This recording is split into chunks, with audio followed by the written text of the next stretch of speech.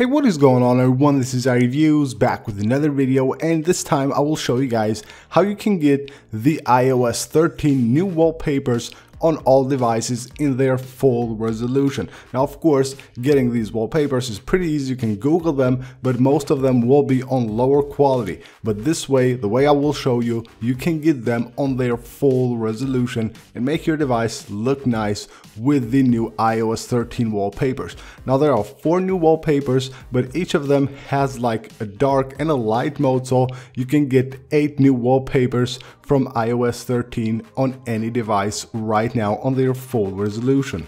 Getting these wallpapers on your device is fairly simple. All you gotta do is just make sure you open the link that I will leave right down below in the description of the video. Make sure you open it in Safari and then just choose the wallpaper that you want to get, tap to open it and tap that little arrow right there to download it.